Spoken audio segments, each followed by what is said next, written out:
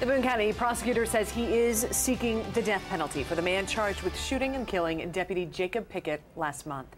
Good evening, everyone. I'm Brooke Martin. And thanks for joining us. I'm Mike Bars. Prosecutor expects to file more charges in the case against other suspects. 24 Hour News 8's Tim McNicholas met with the prosecutor today. He joins us live now from Lebanon. What's uh, next for the suspect, Tim? Well, jail staff will take Anthony Baumgart to this courthouse for a hearing Friday morning. He will stand before a judge and the sheriff who plans to bring along Deputy Pickett's canine partner, Brick. As you can well imagine, the family uh, remains numb. Prosecutor Todd Meyer says Deputy Pickett's family supports his decision to seek the death penalty. Do you have any remorse for what you did? Baumgart asked a judge last month if it would, quote, make any difference if he sought the death penalty for himself.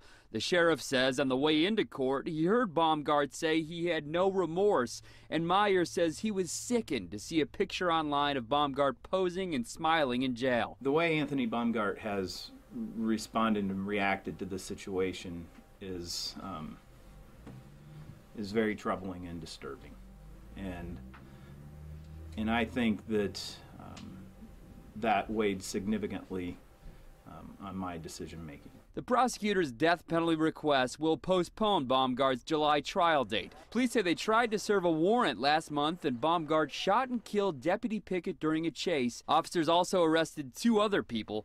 Meyer says he expects to file additional charges against suspects already in jail, but he did not say who. It's like doing a 10,000 piece jigsaw puzzle, right? And we've got it 95% complete. Uh, we can see the image. Our training and experience tells us what it's going to result in looking like.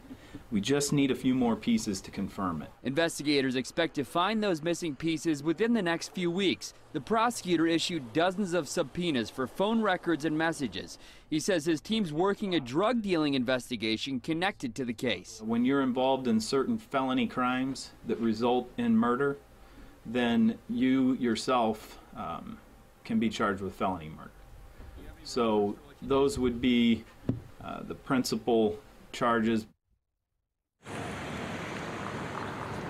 And if a jury convicts Baumgart and recommends the death penalty, the judge is then required to give Baumgart a death sentence. If a jury convicts him and makes no recommendation, the judge can then step in and decide.